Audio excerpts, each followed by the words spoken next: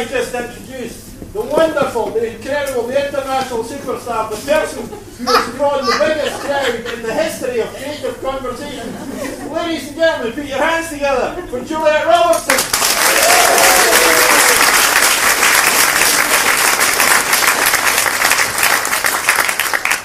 Well good afternoon, everyone, and thank you so much for taking time out of your busy lives to come here. Um, I don't know about you, but whenever I went to a twilight training or CPD or something, getting there was the achievement, wasn't it? Anything else is really a bonus. Um, I'll try and move along through this fairly quickly, but not least because, you know, it's probably wine o'clock already for most of us. Um, in terms of the, the, the creative conversation, what I'm really planning to do is to just sort of, I'd love to tell you there's a nice order and structure to this and that it's been beautifully planned. And it's a bit sort of mishmash of different things because I'm aware it's going to be a mishmash of an audience. So um, humour me. That's it, sorry. I know, fine. That's it. Done. All right, so just, just to sort of hop right the way back, my outdoor things really began when I ran away to Stirling University aged 16 because um, I wasn't particularly happy growing up in Ayr. I wanted to leave Ayr, I wanted to leave my family, didn't want to worry them though, so off I went to Stirling and realised very quickly I didn't know very much. And I was doing an environmental science degree, so I decided to have a gap year um, after second year. And I promised myself to do lots of things to learn about children, being outside, and maybe some of the things I wanted to do. Because I'd done something um, at university, I'd, I'd started doing sciences, chemistry, biology, and environmental science. And I looked at the art students who had nine hours a week and no exams for them. And I looked at my 27 hour timetable with three exams and thought, I've done something wrong here. So I, I asked around, what's the dossiest course you can do at this university? And everyone came back saying, it's education. You get just for turning up. And I was like, hallelujah, that's my course. I dropped chemistry, went into education and loved it. It was science, um, secondary science. And so I loved it so much, I went and asked if I could do a second course, and they hummed and hard because I was doing environmental science. And because I lacked the regional specialisation that geography offers, I was not eligible to teach geography. Okay? And I wasn't eligible to do biology because I missed one semester. So I begged and pleaded and got onto the course and I was so rubbish at the teaching that I was removed from the classes I was teaching, not the children. so that gives you an idea. If, if anyone ever feels, oh my goodness me, it's been a bad day, I always say, well, there is hope. We can work at our practice. So in the, the, the set in 1987, in that gap year, I was sent away to Philadelphia to do something that William Penn would approve of because my mother and my grandmother are Quaker and there was this bursary available for young Quakers to go and do something that William Penn would approve of. And I wrote to this nameless, this Billy, just oozed enthusiasm for outdoors and children, and she said, come and work over here at this centre. And this was where I worked. It's a Puerto Rican neighbourhood. At that time, the average age of crack addiction was 12 years old. When I was there for the summer, there were three shootouts, and I knew those people who were shot and killed. So it was a very dangerous, it was a very unhappy existence. But one of the things I learned about that was about being the change you want to see. Because to give you an idea, the, the centre where I worked looked out onto a green. And it was that the parks department said this green was too small to be an official park, so they were not going to maintain it. The waste department said they're not going to pick up the litter because that's a park's job. So in precisely 20 years, that, that park was cleaned once, and that was when the Vice President of America popped by. Okay? So we learned that if we wanted to do things, we had to do them. And it was a very good lesson for life. Um, and while I was there, I worked with a group of 11 to 14 year olds, considered the neighbourhood successes because they weren't on crack cocaine. It didn't matter that they couldn't read or write. Okay? The definition of success was to graduate from school. Again, it didn't matter if you could read or write or what your level of education was. So, in terms of what I feel we can become, I know that we are a long way from that, and I think that should give us hope in spite of everything. And then in 1992, there we are, there's my class, first class. Isn't it strange to see ties? It's not often you see ties anymore, is it? And again, because I've done work with archaeology and being outside, I took children to the woods just in the summer term, um, as many weeks as I could, usually around about four to six weeks. I just said yes to everybody coming, you know, so I would say to parents uh, who would say to me, oh, but I've got a two-year-old, I said, great, come along, bring them too. And we would just all go to the woods to do what I would call Joseph Cornell and Steve Van Matre type activities, which were kind of the bog standard thing that you did outside at that particular time. And then I was lucky enough to go to Canada, where I went to a very, very forward thinking um, outdoor education centre run by this guy here, Mark.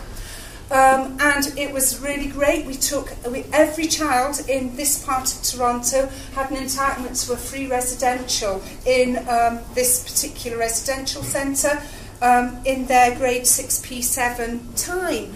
And um, to quote Tim Brighouse, who said, you know, you know, I hate to put paraphrase him, but he said he talked something about a week's a week in a residential is worth three months of education.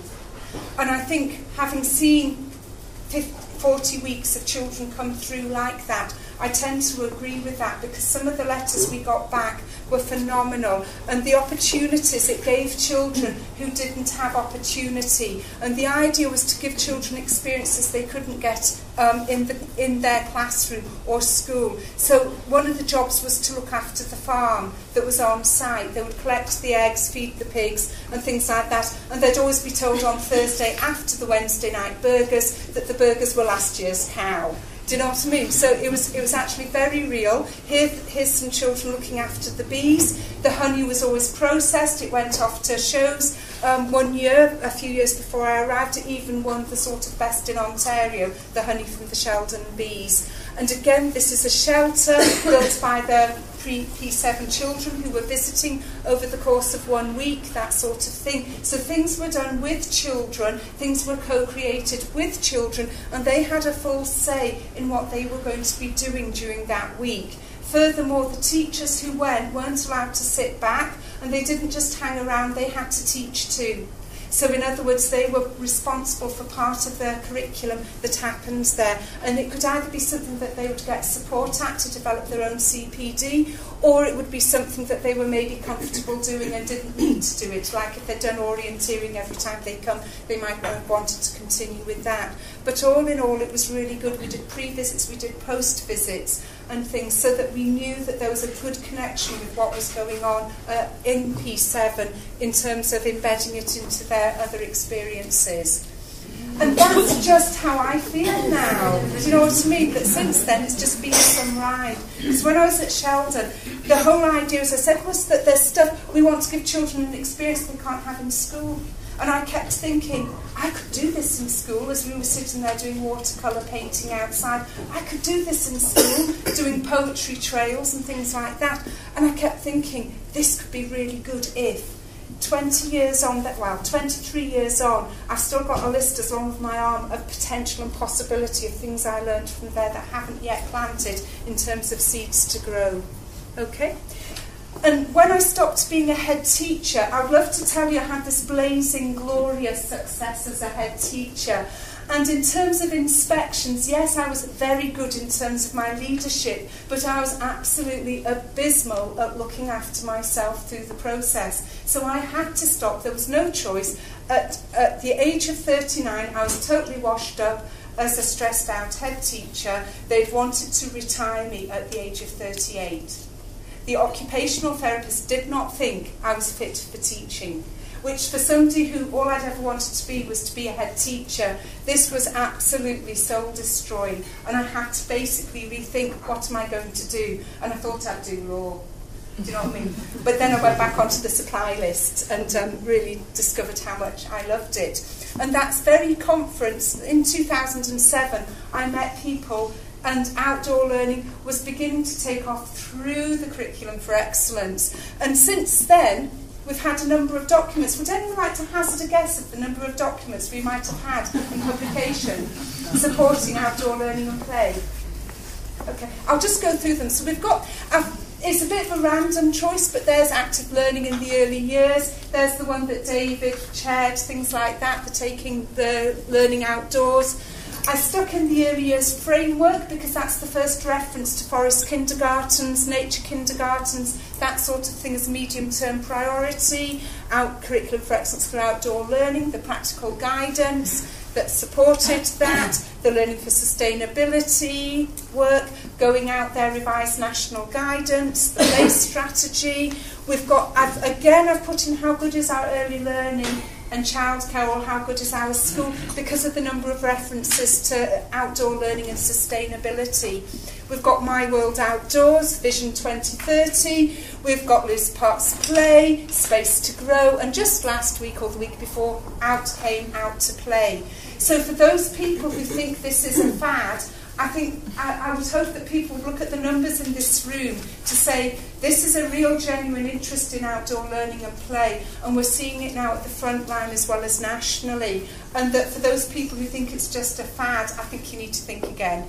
Okay, this is not going to change. This is not going to stop because we have climate change happening. It's real. And if we don't do something now, here and now, how will our children cope when they're older? We can do our bit. Okay? And for me too, I'm just interested because I think outdoor learning and play, while it's great fun playing with sticks and things like that, actually I think there's a bigger agenda. And first of all, one of the reasons why I'm into the outdoors is because of the inclusive aspect. If I am a child, it doesn't matter what my ability is, it doesn't matter what my class is, what my background is, I can find a stick and use it in maths. Yeah? Or I can find a stick and use it in my mud play, that sort of thing. I think it's really inclusive too because we know the benefits. research document after research document cites benefits. You know, I think it's very interesting that we can do things outside that really encourage us to rethink our addiction to stuff and resources. Yeah? So again, we've got an opportunity to rethink. And I think this one is so important too. It's about the love and the care. All right, we don't often use those words enough in education, but that really matters. And naturally, we've got to think creatively. You know, the future's uncertain, and what we do know is that creative thinking is going to be an absolute necessity as part of that. And in many ways, that's not an old thing. We've always had to be creative. That's how we've got where we've got as a society, isn't it? Okay, so I'm just going to move on. I'm not going to talk for too much longer before I get you to sort of think and do things. But I'd just like you to imagine, so it's just been Christmas, and if like me you're feeling a bit heavier than you'd like to be, that sort of thing, some of you might have signed up to a gym, yeah? So I want to imagine you've just signed up to a gym and you meet your trainer who says, hi, come on into my gym and let's give you press-ups. And he says, we'll start with two rounds of five press-ups, and then after a couple of days, we might get into two rounds of six, three rounds of six, and we'll, we'll move it on like that. And if you do that really well, we'll give you pull-ups as well. At that point, you're probably looking around at all the gym equipment and you're going to go, I'm not going to get a shot on that, that gym equipment there. And the trainer says to you, no, that's not important. Pull-ups matter, press-ups matter, none of the rest of the stuff is that important. Yeah, we've got it, but it's just for show. You would probably walk out of that gym pretty quickly thinking, that's weird. Okay? I, I want the full experience. So I question an education system that is very narrowly focused on literacy and numeracy, not even maths, but numeracy, part of maths, because I think that's like going to that sort of gym.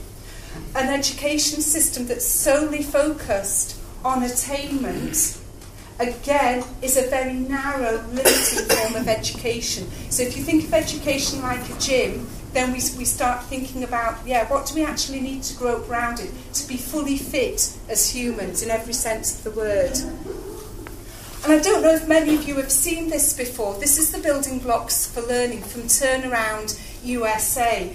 And this this charity was set up after the um, 9/11 um, events, so that um, to help children cope with the trauma of 9/11.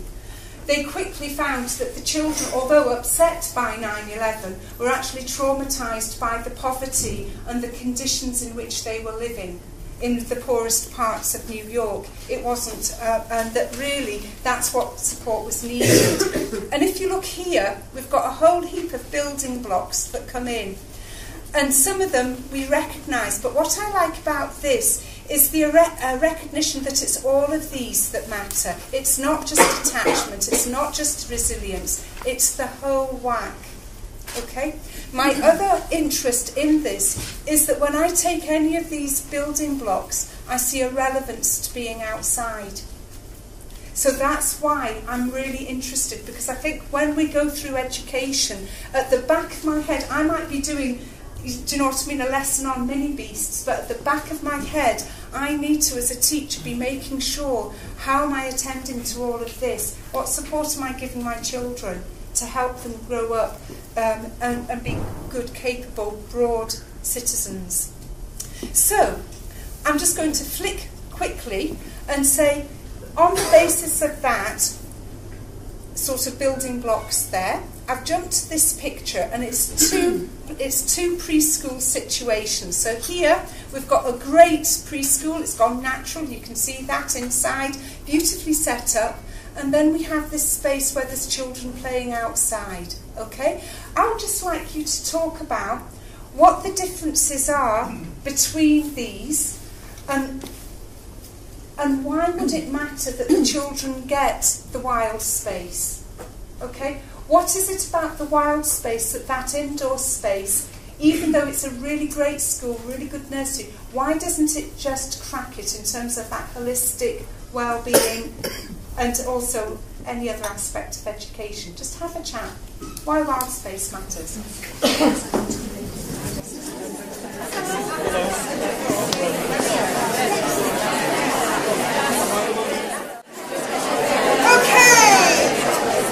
Thank you. I'd love to have some of the feedback from you all. Um, so maybe if I could just ask somebody to shout out or, or tell their thoughts about this, just maybe one thing about why wild space matters. Because we have a sort of middle ground person. There's more risk on the lands. There's more risk. Yeah. Okay, tell me more. Well, because there's water there, there's, there's rocks, they're not, it's not really, it's not really smooth. All right. The weather, see, it could snow in a. Okay, so there's an element of unpredictability, and the water, the un- uneven rocks, and things like that. Okay, thank you. Could somebody else, uh, maybe over this side, just give us a, another reason? It's free, it's liberating, it's, it's not ordered, it's, it's a sense of excitement. Okay, it's free, it's liberating, there's a sense of excitement. All right, but why outside? Too structured inside. I'd be worried to touch something that I didn't do it in the right way. Okay. So that would be idea of adults. One is one on the left from the yeah, is manicured by adults mm, for young people and children to get involved with. Whereas one on the right is not manicured. You know, it's for them to explore, it's for them to seek out. Yes. Things. So and for them to understand the boundaries and the dangers for themselves. yes. Well, well, I think that both of those touch on, on very core things. In fact, all of them do. Because when you look at this, as you say, some an adult has set this up. An adult has made very deliberate choices about where things go, what is presented, and why. So, if, if we're thinking about um, Simon Nicholson and his theory of loose parts and how not to teach cheat children, then actually that's just what we've done here. The adults have had all the fun here setting this up. Do you know what I mean? Here, there is no setup. Ah, lazy teacher is great, isn't it? You know, no setup needed. But also, because of that, straight away, inside there is an unsaid, I feel, um, in uh, uneven distribution of power, which when you go outside, it goes back to that social and inclusive ethos of there isn't, nobody set up that space. That's how it was. That's nature. So suddenly a child has a sense of freedom when they realise that. And when you do things in, as a child outside, you pick up something like a stick or a stone and you move it and you put it somewhere else. And as you do so, you can feel the water on your feet. You can feel that roughness of some of the pebbles or the smoothness of the rock. You are getting a connection in a way that you wouldn't normally get inside in an artificial environment. And you are beginning to shape that environment and change it and make it. So when we talk about autonomy, that's, that is a very autonomous environment for children. And therefore, permissions and things matter too. So it goes back to just even that tiny little thing there. You can see the agency that happens. We can see that there's curiosity happening, self direction. All these things start to come into place. And it's sort of like the building blocks are building themselves, and we don't have to work so hard to make that happen. Okay? Um, and again, I always say it's different outside. Some people get very upset about the idea of doing something that, you know, that's an indoor activity or an outdoor activity. And I don't worry about that because I know outside, even something like hula hooping, if I was hula hooping here, it would be a very different experience if I was hula hooping as a street artist or I was hula hooping on a grassy bank and things like that, feeling the grass beneath the, my feet, the interplay of the wind as it grabs my hula hoop, particularly in a windy place like Edinburgh. Do you know what I mean? It all, all adds up to something a bit different. Okay? And even in terms of things like performances, I don't know if any of you were lucky enough to see the Scottish Ballet. It was done in conjunction with the Forestry yeah. Commission, wasn't it? Um, and it was called Hansel, Gretel and Me. And they went around three was it three or four different forests? Engaging with local communities to create performances, and it's the first time I've ever seen ballet dancers in wellies. Fantastic. And I just felt that that in itself was very liberating, doing something that is normally traditionally done inside, but they had to adapt being outside, and adapt they did, and it was the most memorable um, performance I think I've ever seen. And I just feel, I know sometimes that this can be paraphrased in different ways, but there is something about that fact that when you are in touch with the ground, when you are either walking or feeling and things like that, that actually there's, there's deeper things going on. Okay? So for me, when it comes to looking at the outside too, what I also find is that this whole idea of needing stuff, needing resources, kind of disappears because there's loads of stuff outside. For those of you who work in concrete jungles, I do appreciate that's different. You do have to import stuff. But even so, the only environment I found that's been truly tough to find things in has actually been astroturf. Do you know what I mean? That's, that's the real killer for me. You know, that's where importing becomes more. Um, and I just want to sort of have a think too about loose parts and what we actually mean by this. Because very often, I'm told these. You know, people see it's all about the tyres and the bread crates and things like that.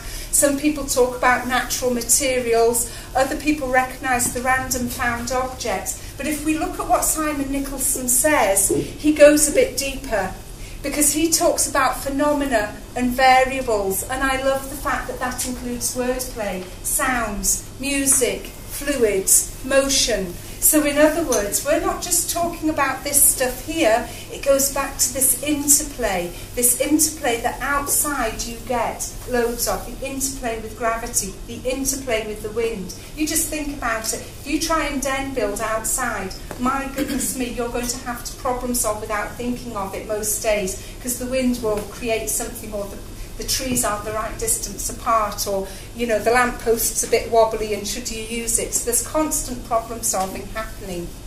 What do you think about this? Does this make sense to you? And has anyone got any questions or points at this moment in time? Is it a reasonable thing to sort of say?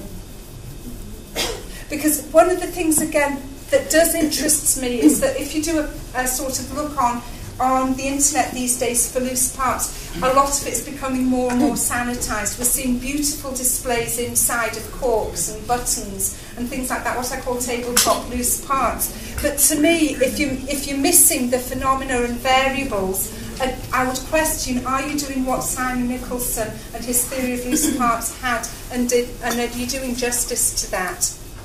Okay, and just moving on to that, common sense says that with the interplay comes the interplay with the landscape. So you kind of can't think about loose parts and what you have outside without thinking about the landscape and topography and that works. So I love this here. This is a, a wee photo from Iceland. And the children are going off site to go um, to just enjoy a session in um, near an Icelandic wood. But we, we have to be careful when we use the term forest because there is a, there's a wee joke in Iceland and it says, What happens if you get lost in an Icelandic forest? Does anyone know? You do, you're right, you just stand up. Do I mean? It's so small. So it is, but it kind of, when you're three, it still looks nice and foresty. But when they come out, they always come out and you can see the adults walk along here, but some of the children had to walk along the boundary there because the children don't see that as a barrier, they see that as a place to climb. And I've got another one here. Have we got anyone here from Jupiter Artland? Yay! All right, what a fabulous, fabulous resource to have on the doorstep. And one of the things I love when you come in are those mounds. Right, but also what fascinates me is how children perceive those mounds because we know that the spirals are meant you walk along the spirals up and up and up. But for a lot of children, what do they want to do? They just want to run up and down them, roll down them. Half of them have the parents sort of saying, remember not to step in the pond, and the children are going, oh, but I'd like to. Really, I'd like to. So again, what we have a perception of and what Charles Jencks perceived these to be is very different to how a child perceives it. And why does that matter? Because actually, that's about possibility. If you have an area that's high in affordance, high in possibility, then actually it encourages children to think things like, what if? How about? Why not? I can. So here we've got a great example. This is also from Iceland. And as we went into that wee forest, you can there was all this old agricultural machinery lying around. And of course, as adults, we see that as old agricultural machinery, and as you can see to the children, they saw it as um, playground equipment to play on. And what really happened was you could see some children went on there straight away, some hung back, and you could see them really thinking through could I do this? Shall I do this? And then having a go and further exploring the equipment. And again, we can apply that then to our outdoor space. So let's think about this in a curriculum way, just for the moment. We've got a lovely setup here um, with um, picnic tables and things like that, and some nice boards like that. And over here we have this setup here. I want you to talk about the literary, literacy, potential and possibility of each place. Okay, what's the potential in terms of literacy?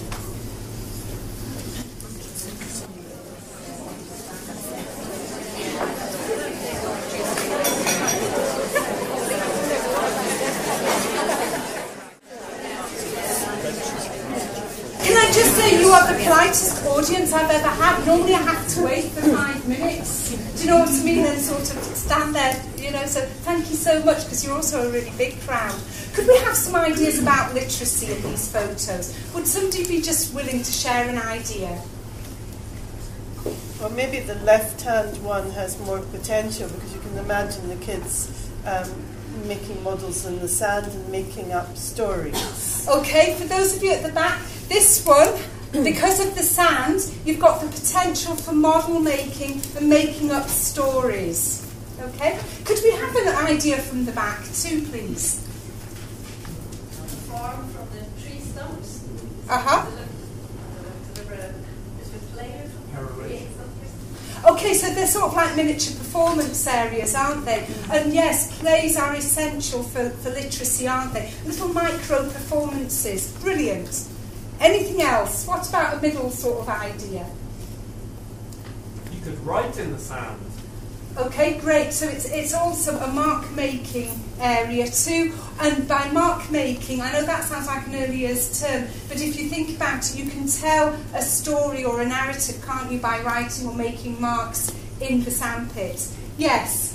Um, create artwork, the left-hand picture, so with branches to create your frame and leaves and sticks and stones to create the, um, the subject of the picture and the children to describe it to extend the All right, so again, focusing on the sand and saying that is with a frame around it, you've got a picture making possibility. Is that correct? Out, out of sticks, make your own frame and children individualise with the sand. Okay, got you. Yes, thank you. Did you all hear that?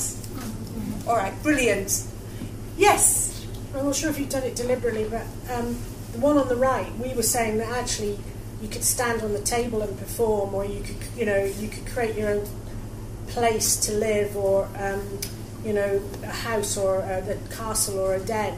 I noticed you've got the pebbles at the bottom there that you could actually be using to make into shapes or, or letters, but you could make basically be making your own stories, that kind of thing, words and whatever.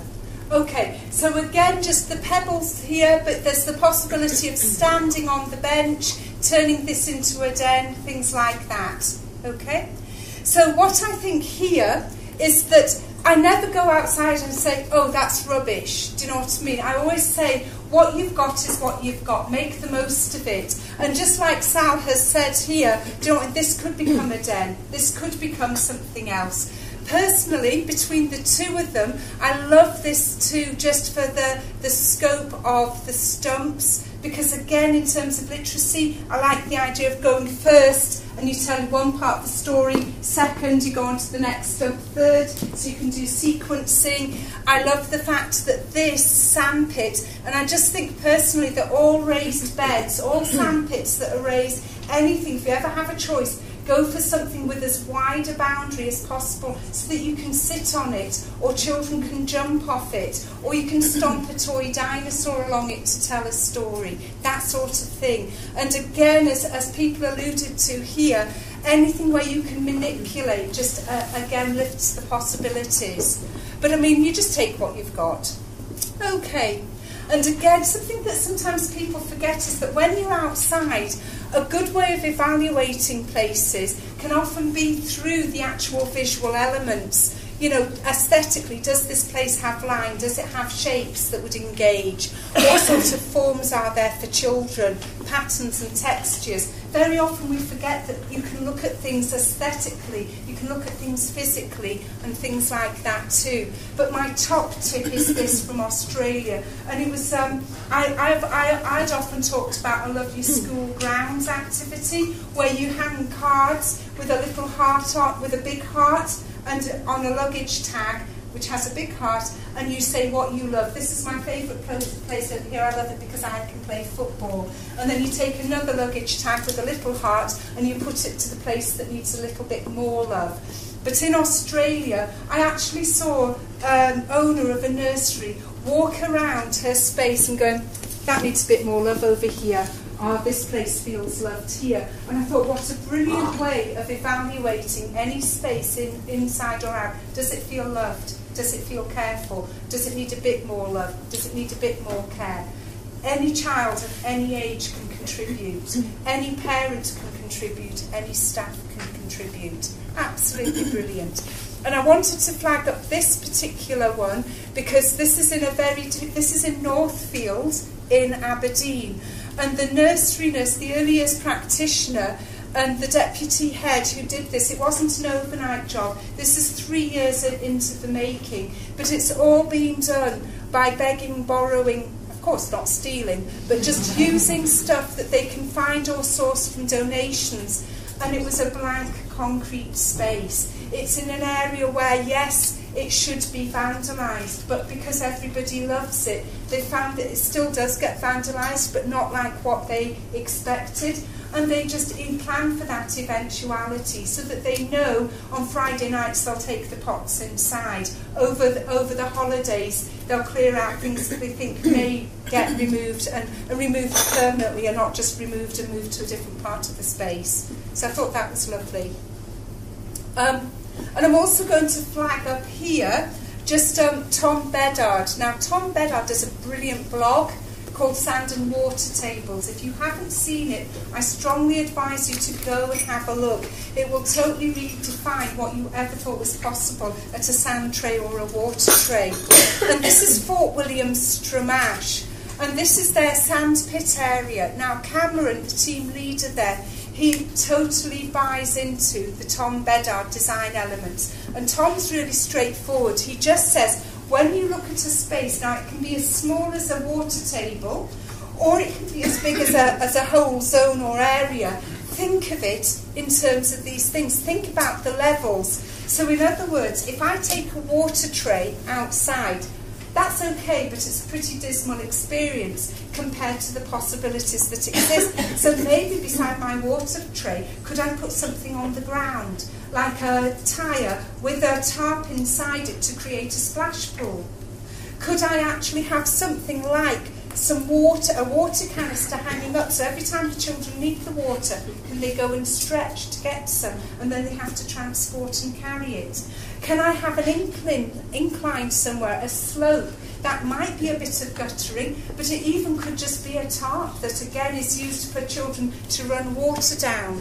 Could I have things that children can transport and use? And another top tip here for anyone who works in nurseries is that if you have children transporting and you can see Medma, everything just going haywire, you provide a big dustbin or a big truck or something and just direct children, oh, can you just put it over there? That would be brilliant. And the children will do that.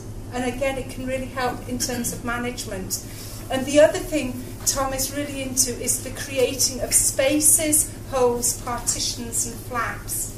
Okay? And that is absolutely key for so many things. So if I look at stuff, so I've just developed a water wall. I haven't blogged about it yet from a piece of tarp. It's a portable one. So you have this little bit of tarp, and I've, I've put holes in it using um, ringlets. It's absolutely brilliant. And children can put those ringlets in themselves. It's so easy. They can hammer them in, decide where they're going. Then you put ball bungees through them, and then you can hang pipes, you can hang guttering, you can hang anything you want. You can thread ribbons through. It doesn't really matter. But you can literally just pin it up to any wall, and off you go. You can pin it between two spaces, and you can work either side. But that's what the additions of holes to a tarp does. Okay, so that's all thanks to Tom Bedard. All right, and I apply this even to things like um, white sheets. So I'm, going to have white sheets for people to work with shortly. Um, I don't know how clear this is, so I'll maybe, if I hold it up like, ooh, can you see it if I hold it like that? Is that clear? So do you see how I've partitioned it? Okay, I'm going to show you why shortly that is it, that lifts the learning. So I've got a white sheet and I've added partition, partitions. Likewise, often with a tens frame, here's, here's an example of partitions too. So a lot of people know about a tens frame. I'll, I'll put this up here in case it helps too. Do you see how it's got the 10 squares on it? Okay, so if I am doing a game with children and they put one cone in each one, they can very quickly learn what's missing. So for things like number bonds within 10, it's very easy. Okay? But if I wanted a progression, all I need to do is to change the partitions. So here's the dice frame. Okay? Suddenly, if I hold it there, it's still tens, but I've changed it. So we've got that little bit of twist. And again, if I wanted to change that even further, I could then add in a second tens frame or I could turn it over so that you no longer see the partitions and again we've lifted the learning and the challenge that little bit more because there's no gaps then to give children a visual clue. So I take this idea of the elements and just absolutely just tweak it and, and, and change it in lots of different ways. Does that make sense? Okay, and again, you can do that even in a concrete jungle. So this is um, this is yes, a fairly standard playground frame in a nursery. It was a brilliant hot afternoon. I just happened to have a whole heap of stuff in, and I just said to the staff and children, "Let's just go for it. Let's set it up over ten minutes." And again, we just did things like we added bubble wrap to the slide, we put the water um, canister at the top so that again the water would poke out. One of the children had the bright idea of adding colour to the water so that all the bubble popping, when it happened, all those pops filled back up with coloured water. When you pressed them again, little fountains came out, that sort of thing. So this setup was there, sort of over to one side where I was, there was a mini water train, a mini setup. And what we found was that that engaged those children for a whole afternoon. They were just playing and playing and playing very deeply, just experiencing water around climbing frame. So always again that whole principle of can I apply the elements and in what way. Another week you could change this. It could become a musical playground. Another week it could become a building playground. Another time it could become it could become whatever you and the children want if you think in terms of elements, yeah? All right, and we're going to apply that thinking too to other bits and pieces too. So what I've got here, and this goes back to the idea of, of, of you know, if we're not in a, a woodland where there's lots of diversity of sticks, stones and cones, how do we cope? So here, we've just got an example of some pegs. I would like you to have a discussion and just have a wee think about why is it that I would be encouraging settings to have lots of different pegs rather than just to go out and buy a set of clothes pegs that are all the same? Why would I say to people, bring in your old pegs rather than just saying, right, we're going natural, let's chuck them out and let's just have some wooden pegs? Why would I want this in terms of lifting children's learning? Do you want to just have a quick chat?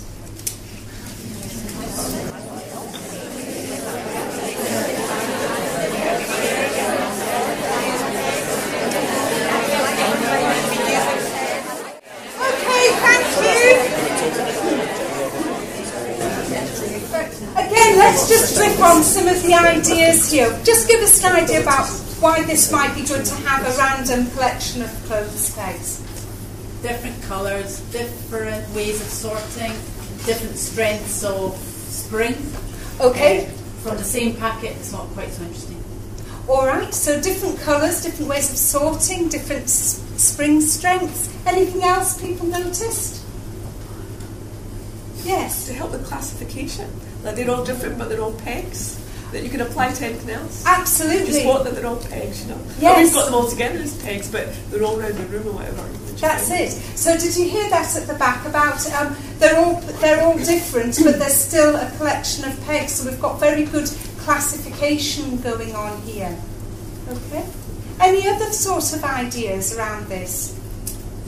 Could imagine play like the creatures and different types of creatures and different attributes. You see my kids' imagination just taking off with that kind of thing. That's it, because again, they can be. There's ones that you know, those always come and end up looking more like fish than they do crocodiles. Some definitely look more crocodile. And think pegs that are all the same, like this one here, because I've gone natural, you know, as part of my, because I've been told it's a good thing. Then suddenly I've missed out on a whole heap of diversity of, of language, for description, of decision making. When I look at those pegs as a child, which one am I going to use? Which ones can I use? Which ones have I got the strength to manipulate? Which ones I don't? That sort of thing. Do I like springs or am I a bit scared of the springs? So will I go for one that's springless? Um, you can think too that they all have slightly different properties. So again, for that sorting and that attribute making, we're lifting the mathematical work and we're lifting the literacy and we're even going into science. So as a lazy teacher, by having abundance and diversity like this, I can actually do a lot within my environment to lift the learning. That's just pegs. Let's imagine then you take it to things like lines for den building. Okay? Do you want thick lines, thin lines? Do you want lines you can cut up, lines that are easy to tie, lines that are velcro? Do you want bandages that stretch? Do you want static lines? Do you want dynamic lines? Once we start thinking about diversity, we start lifting the learning. We can do it just even sticking on den building with things like the materials. You know, do we want big pieces, little pieces? Do we want pieces that float? Do we want pieces that are waterproof? Do we want pieces that actually feel soft and warm? Do we want ones that feel quite a different in texture? Do we want stuff that we can see through, stuff that we can't? And suddenly we are lifting the learning and we are, the environment is beginning to work for us. So even in a man-made jungle, we can do an awful lot. Does that make sense? Um, so hopefully that, that's just something to take away. And this works at all ages, not just for the early years. Okay? All right, now I've got a nice little problem solver for you. So you can see here, remember I showed you this actual sh sheet? So this is some work that a P4 child has done, or a group I should say. I wonder if you can work out what's going on mathematically here. Okay, what is happening in this photo? Just see if you can have a, a workout. Feel free just to shout out, and, and this isn't a test, so we, we'll get there one way or another.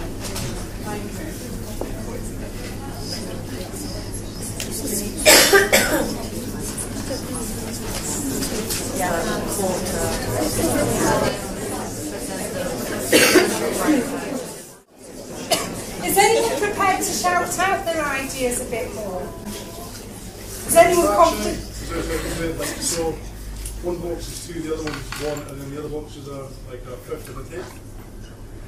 Say that again, a bit louder. So like the top box is like a hole, so the hole is two, and then half of two is one, so that one there, and then boxes underneath that are uh, like uh, other fractions within uh, as well. Okay, I, I love the way you're thinking, and and and you, I, I'm sure a lot of people would be sort of on the, the right lines too. So you're right. There is there is something going on. They worked the other way round. These in this one, they decided that um, the cones, these long cones here, are, are tens, and the gravel are units. So we've got 25 and 25 makes 50. Then they substituted a long cone for 100 and then doubled it there. And I think there was, I have very few big cones. So I think that's why those are all different, but they're still significantly bigger than this. So that was their reasoning. This came about very simply. We haven't been doing a lesson on place value. We'd been doing a lesson on um, how to partition, on different ways of partitioning. And what I'll often do when I work with older children is we will do a quick game outside together, we'll share ideas, and then I'll often ask them to invent a game or invent a problem or a challenge and to talk about it to others. And that's one of the things that this group did. But I thought that was a really nice example of some good thinking by, um, by the primary fours. The other thing, the reason why I love using natural materials and also white sheets is, and I'm going to demonstrate here. if you've got a sheet like this, this white sheet, can you see how visually clear the cones are? They really stand out. So again, it helps children focus in. But if this is in the wrong place, you just move it. And for some reason, children don't see that as an error, they just see that as part of the process of working out the problem. So it's not like a whiteboard where you've got to rub out or a chalk that's indelible. So one of the things I always encourage classes to do is to try and cut back on chalk and to try and use more manipulatives instead because then the speed of the conversation is much quicker. And mathematically, children focus on the maths and not whether something is in the right place or not. It's only in the wrong place if it needs to work for the maths and that sort of thing. So again, really think about this when you're outside. You know, can we cut back